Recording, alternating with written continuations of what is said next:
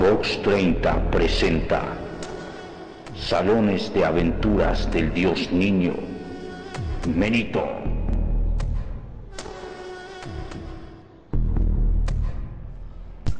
Guerra de Diablillos.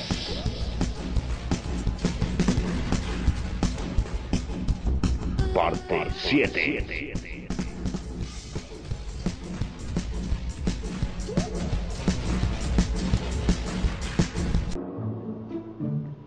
En otro sector del infierno gulichiano se encontraba el sensei Pimpo de Menito, también con un traje de diablillo ridículo y su barbijo de ninja. Solo imagínenselo. Iba a hacerle un encargo a Lindiecito Colón.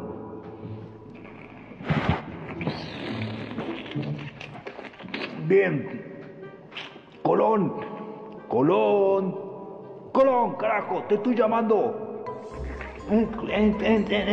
Colón, el indiecito, también estaba con un traje infernal bastante ridículo, todo rojo y alitas de demonio.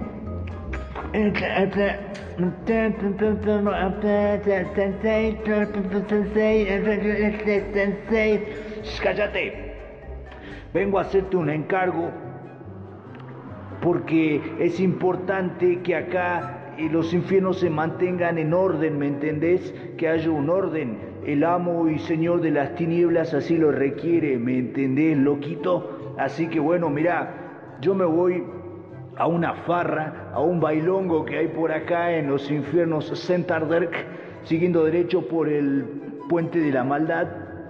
Van a hacer así un, una tipo joda con, con gatos, con mina eh, y todo, toda la onda. Y no me la puedo perder, ¿viste? Así que acá te lo tengo que dejar a los bebés. Acá lo tengo a mi hermanito, a Montoto. Y te lo voy a dejar a su amiguita, la bebé Tina.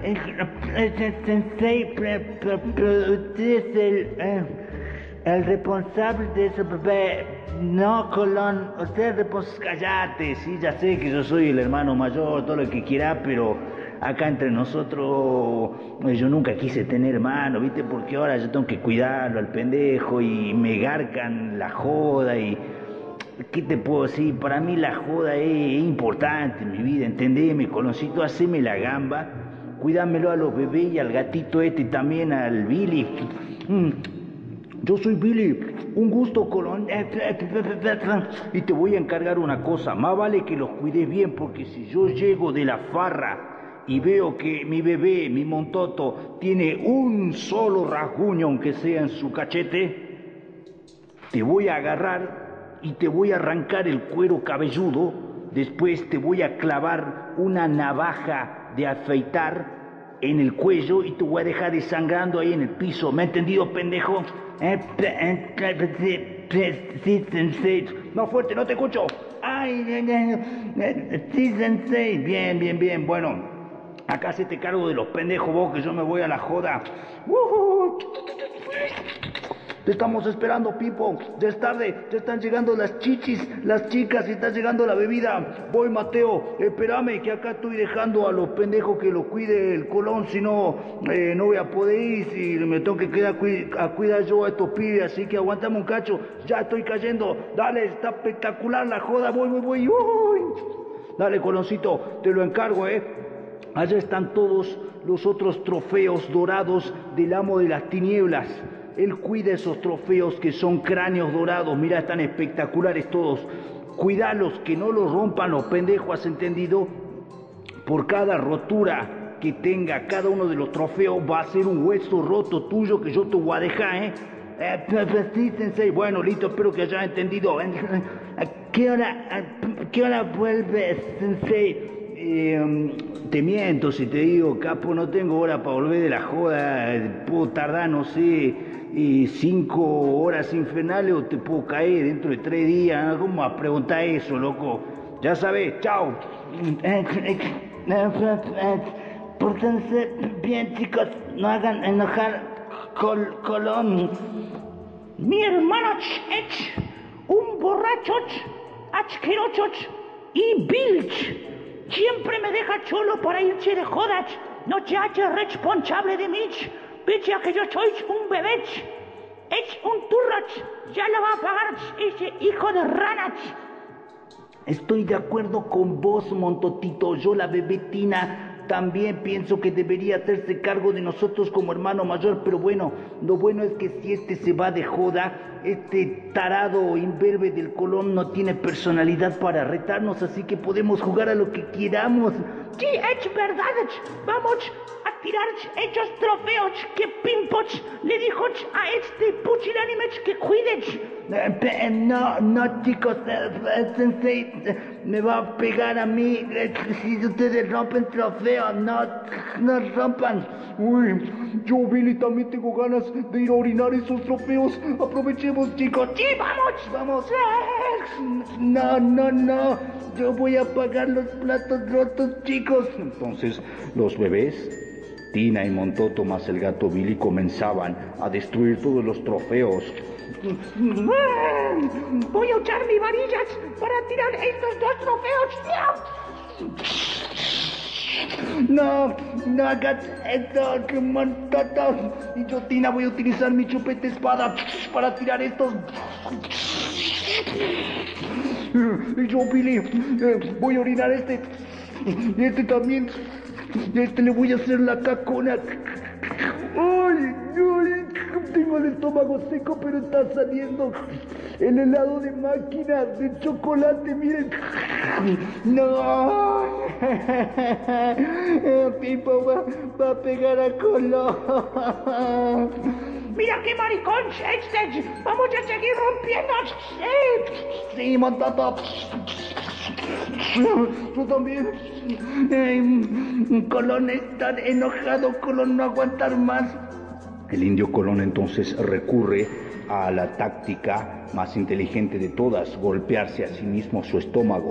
Recordemos que al golpearse el estómago el indiecito obtiene un poder tremendo, una fuerza inhumana y se transforma en un ser imparable madera, agarrar este pedazo de madera colón y golpearme. Ay. Mirad, mirad, Tinach, lo que hizo este pendejo se golpeó solo. Uy, sonamos cuando se golpea el estómago, se vuelve poderoso. No es ningún gil ahora, malditos. Uy, creo que estamos fritos, chicos. ¡Colón! Comenzaba entonces a formarse un temblor increíble en este sector infernal y Colón obtenía su fuerza potenciada. ¡Estoy harto! ¡Colón! ¡A bebés! ¡Ah! ¡Vengan por acá, pendejos! ¡Uy! ¡Vámonos de acá, tías! ¡Vámonos, vámonos! ¡Ah! Entonces comenzaba lentamente a cogotar a ambos bebés, ¿no? Y lo metía a una tina de agua infernal que estaba por ahí para ahogarlos. ya estaba harto de todo lo que le habían hecho vivir. a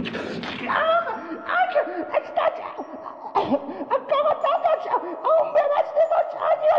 Es grave lo que estás haciendo. A mí también, la policía infernal te va a dar tres perpetuas por esto, ¡ah, pendejo! ¡Ah, Colón, importar un carajo! Si recibir diez cadenas perpetuas, Colón, estrangular bebés, Colón, estar harto. Entonces comenzaba a ahogar lentamente a los bebés en esta tina de agua. Colón con su superfuerza ya estaba cansado de ser el mismo taradúpido de siempre. Oye, Billy, tengo que hacer algo. ¿Qué puedo hacer? Le voy a saltar a morderle la colita. El gato Billy entonces le mordía el trasero al indiecito.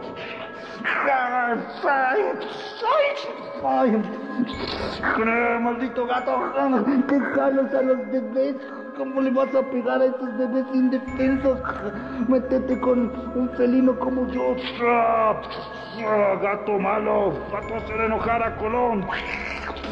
Entonces Colón se lo quita de atrás al gato Viri y lo sumerge también en la tina con agua, sabiendo que el gato detesta esto.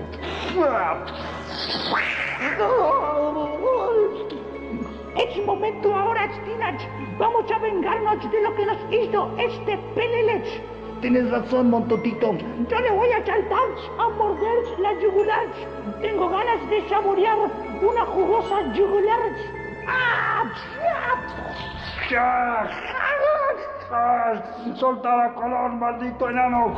¡Ay, yo Billy, me voy al carajo de aquí! ¡Chao!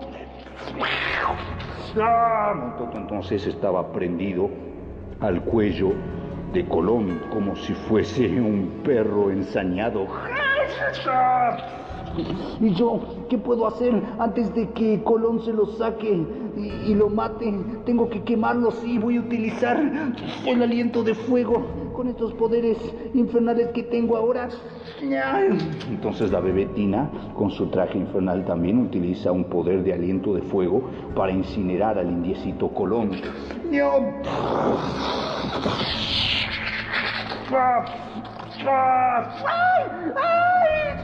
Pero al hacer este ataque también recibe las llamas inflamables.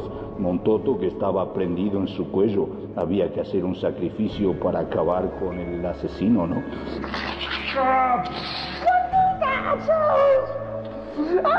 Lo siento, Montoto, pero tenía que acabar con el asesino. Había que sacrificar alguna vida, era la tuya o la mía. Estoy siendo inteligente con lo que estoy haciendo. Uno siempre tiene que priorizarse a una misma, ¿me entendés?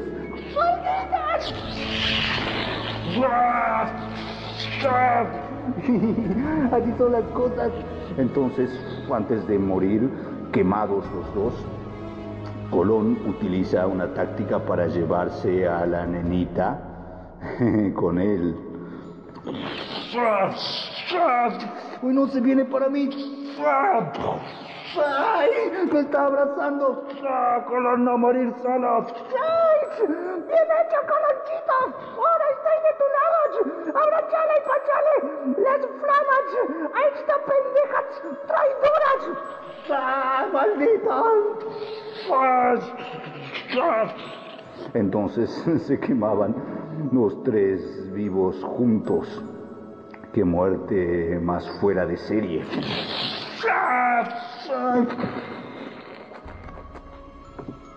Mientras tanto, entonces, en el sector donde se encontraba Fernando Vargas con el señor de las tinieblas Menito, continuaba la pelea. Maldito enano, yo la diableza. Marina, estoy enfurecida. Ahora te voy a enviar otra horda más de mis demonios.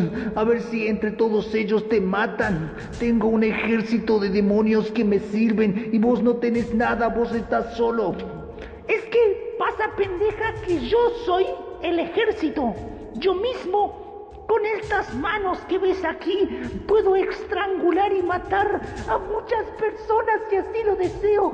No necesito la ayuda de nadie. Yo me valgo solo para asesinar al prójimo. ¿Podés entenderlo? Maldito. Uy, Meno, se va a venir con más ataques.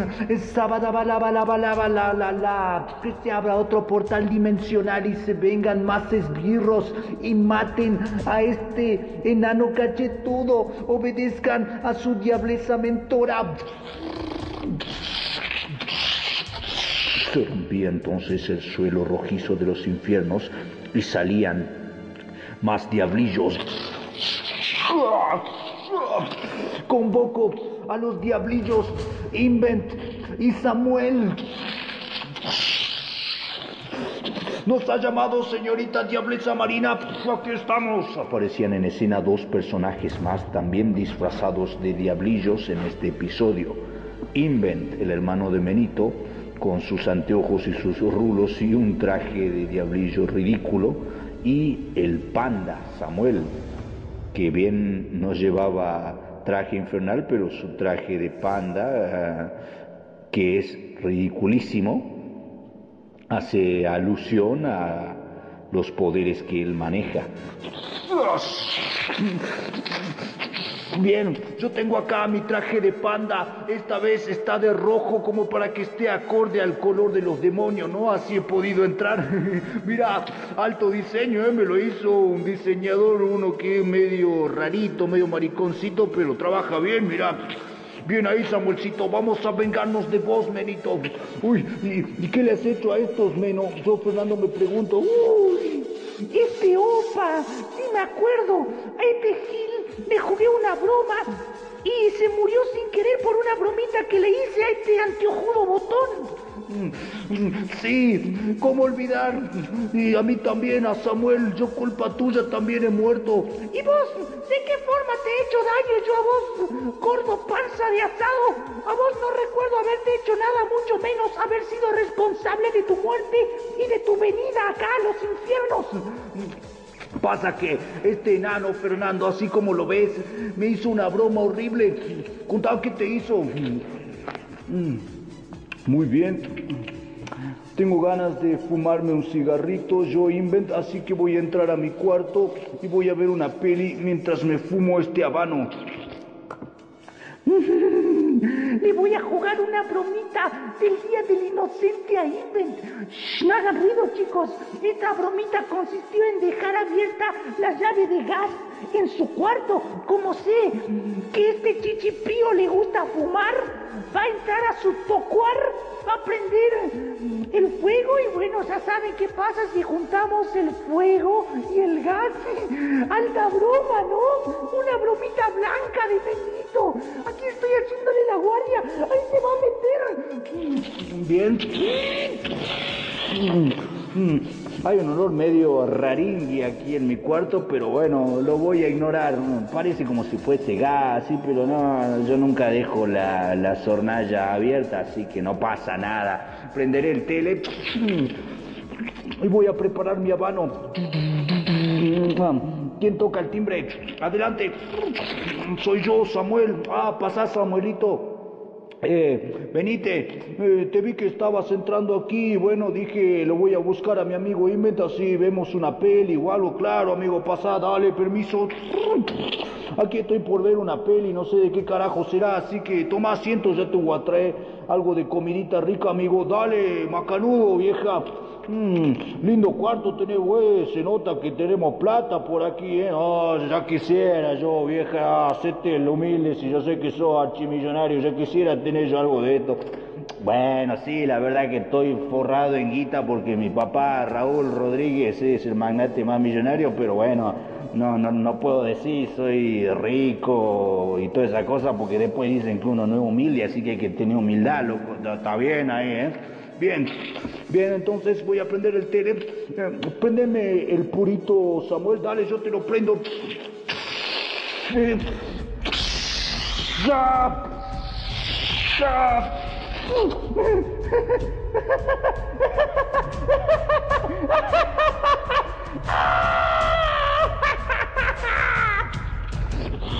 Entonces así fue, mira de lo que me vengo a enterar. ¡Ah, mira vos!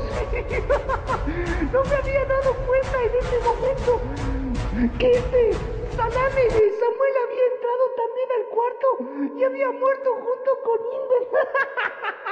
¡Qué pedazo de logi! Estuviste en el momento erróneo y en el tiempo erróneo, vieja. No, no fue mi intención. La broma era para este otario. ¿Cómo se ahora nos vamos a vengar? Mátenlo, yo la diableza marina les digo, maten a este enano, vamos. Entonces venían varios demonios junto con Invent y Samuel atacar al dios niño. Eh, vamos a matarte, a vos también, Fernando, nosotros, los secuaces de la diableza marina, a ver si pueden conmigo, maricones. Si quieren matarme a mí, van a tener que pasar primero por el cadáver del amo de las tinieblas, el dios niño que es mi amigo, y atrápenme. ¡Atrápenlo! Benito, Benito, mira, me quieren pegar. Ponete atrás mío, pedazo de imberbe. Yo me voy a encargar. Dale, dale, gracias, vieja. ¡Coletazo del infierno! ¡Del diablillo Menito! Entonces la cola de Menito se vuelve de fuego, un coletazo de fuego infernal hace que a la apenas este golpe toque a su oponente lo incinere por completo. ¡Deja de joderos! Vamos a dar otro coletazo por aquí. ¡Toma, pendejo! ¡Escucha, pendejo! ¡Atrápenlo! Nos está incinerando a todos con esta cola, con un coletazo de fuego. Nos convierte en cenizas, no le tengan miedo. Es un pendejo, es un enano. Mira la cara de nabo que tiene, ataquenlo. Vamos. ¡Deja ya, pendejo! ¡Vos también ahí, pendejo! ¡Escucha, pendejo! ¡Y vos también! Vamos a vengarnos, Samuel. Yo voy por adelante y vos por atrás. Dale, Invent. Yo, Invent, traje uno de mis inventos más revolucionarios aquí al infierno. Esta es la espada de electricidad. Invent prende un arma letal, un mango de espada que al presionar un botón se forma una electricidad potente extraterrestre y con esta electrocuta al diablillo Menito al ensartársela en el estómago. ¡Toma, pendejo, carajo!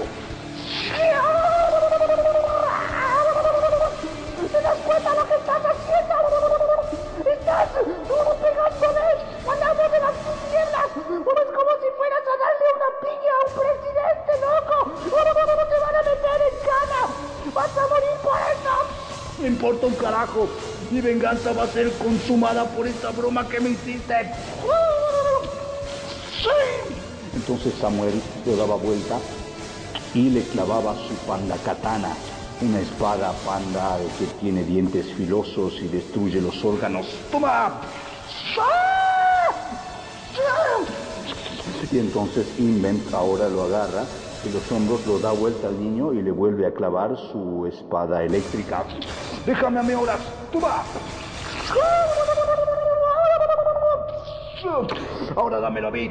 Yo, Samuel, lo voy a dar vuelta y le clavo de nuevo la panda katana. Ahora yo lo doy vuelta de nuevo. Más electricidad. Toma, pendejo.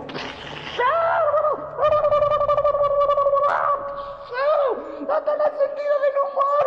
¡Fue una bromita blanca, fiera! Vení por acá. Panda katana. Espada eléctrica. Panda katana. Espada eléctrica. Panda katana. Espada eléctrica. Entonces estaban torturando al dios niño, pero poco les duraría esta diversión. ¡Ay! ¡Ya me han hecho embolar! ¡Se han atrevido ¡Al maestro de la muerte! ¡Al amo de las sombras! ¡Mira esto, Invent! ¿Ves lo que es esto? Eh, es un puño, eh, es tu puño. ¡Sí! ¡Toma! Benito entonces atraviesa su puño en la boca de Invent con una piña hace que el mismo le salga por la nuca una muerte horrenda.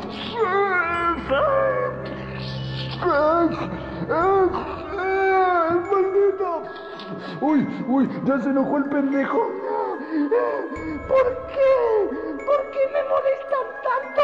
¿Por qué no me dejan ser, chicos? Me embola cuando dice eso, ya lo dijiste varias veces, ya te estás volviendo pesado. ¡Vení para acá! Uy, yo Fernando, eh, no puedo creerlo. Eh, Benito le está mordisqueando la yugular a Samuel como si fuese un perro ensañado. Ah, no puedo respirar. Ah, estoy muriendo a manos del Señor de las tinieblas. Ah,